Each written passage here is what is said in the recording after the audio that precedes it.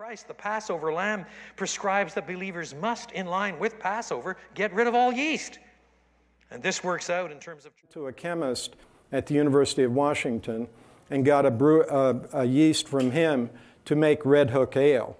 Uh, and petri plates to do this in yeast where it simply would not have been possible with that ease to do it in, in human cells. As a yeast, so Saccharomyces cerevisiae, which is the same thing that produces the yeast that we use in beer and breads, that can be. In the winery, you don't want to use a lot of new oak. You don't want to pick it overripe. You don't want to use cultured yeast. You don't want to use high tech. We can make enzymes and microbes, and that could be like a bacteria or a yeast, for example. And the way we do this is we get a piece of DNA that codes